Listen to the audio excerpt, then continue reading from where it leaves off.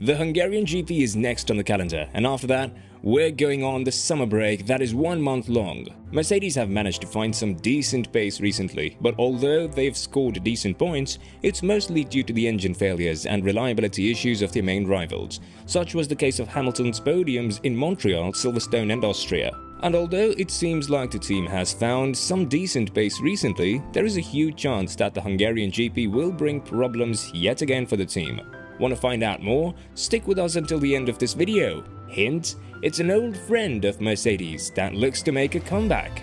The beginning of the 2022 season saw the phenomenon of porpoising making an entrance and it hasn't gone away on its own. Apart from Red Bull, every other team has struggled with it, and while some teams learned how to perform with it, Mercedes seemed to struggle the most. The team has performed miserably badly, with Hamilton finishing P10 and P14 in Jeddah and Imola respectively. While Russell was able to finish in the top 5 in every race prior to the Silverstone crash, Hamilton just wasn't able to find the performance in the Mercedes. He often compared it to a battling rattlesnake that needs to be tamed. As of Russell, he spoke about his tenure in Williams and how that helped him to learn how to perform a troubling car.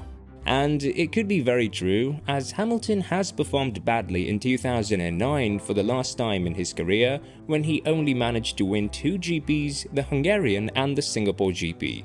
Hamilton is currently the only driver on the grid that has maintained to win a race in every season he has raced so far, which is a record that could very well be broken this season.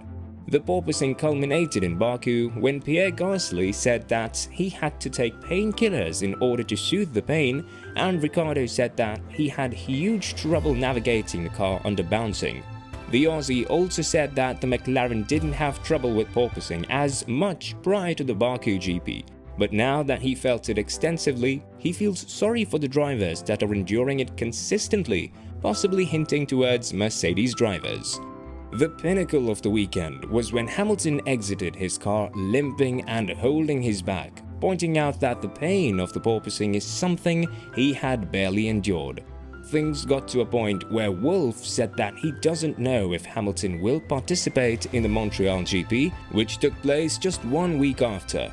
Hamilton said that he isn't feeling 100% ready, but he wouldn't miss the GP for the world, and his teammate Russell, who is the director of the Grand Prix Drivers Association, pushed the FIA in the name of all drivers to make a necessary change. And changes were made by the governing body, as they said that they'll introduce a new metric that would measure the vertical oscillations of the car, or more precisely, the porpoising of the car. If the car fails to comply with the rules, then it will be forced to retire or to make changes to the ride height. Why is this a problem? Because this solution was available from day one, but Formula One is a sport in which you have to optimize the performance of the car, and there aren't any savings regarding the optimization of the car. Therefore, if a car was to raise its ride height, it would lose a massive amount of downforce and it will gain a huge amount of drag. This is something that Christian Horner has pointed out throughout the season multiple times towards the FIA and Mercedes, as he isn't remotely happy with how the governing body is making these changes to the rules. He feels like these are made just because one team is complaining a lot, in this case Mercedes, and if it was Red Bull or Ferrari that would have struggled, nothing would have been done. However, the races after Montreal, which is Silverstone, Austria and France, didn't see the porpoising phenomenon being present. This is mostly due to the fact that the surfaces of the tracks there are very smooth and flat, unlike Montreal and Baku, which are used for the everyday activities of the citizens there. Now, the next race in Hungary and the porpoising problem may very well be back. The Hungarian GP takes place at the Hungaroring and the surface of this track isn't as smooth as it was in the previous three races. This is why teams are expecting to experience the porpoising issue yet again after everybody thought that this problem had been eradicated after the challenging races in Baku and Montreal. One major issue here, contradictory to what happens in Baku and Montreal, is that the track is barely used throughout the year. This means that the surface becomes very dusty and green. The overtaking here is really challenging as this track is often referred to as Monaco without the walls.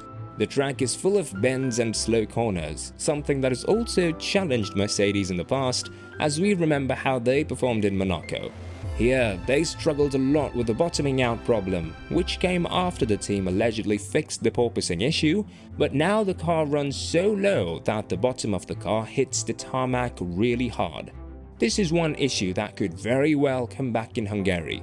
And in addition to the bends, the track is very slow, bumpy and narrow, the width of the track is a maximum of 15 meters, while the average width of the other races is an average of 20 meters. This means that if Mercedes cars are yet to struggle with the porpoising or bottoming out issues, passing here will be more or less impossible.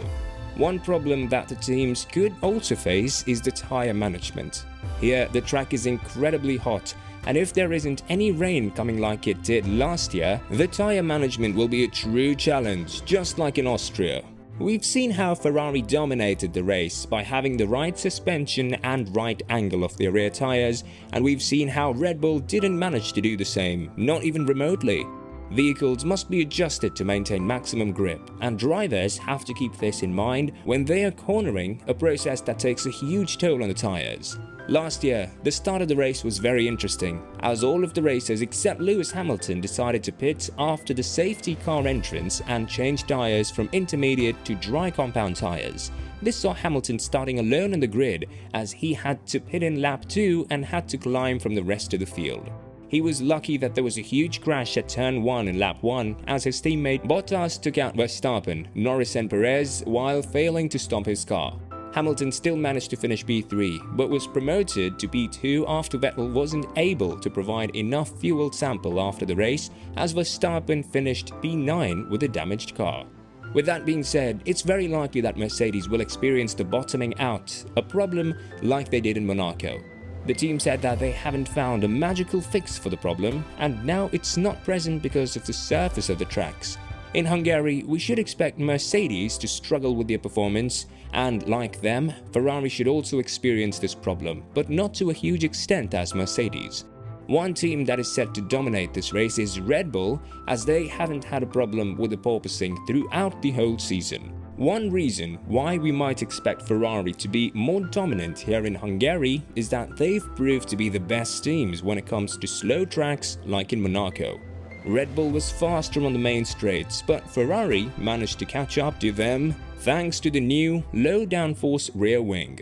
Red Bull, however, wasn't able to fight back when it comes to tracks with low downforce and low speed corners. What do you think will happen at the Hungarian GP? Do you think we're up for an exciting race? Let us know in the comments below.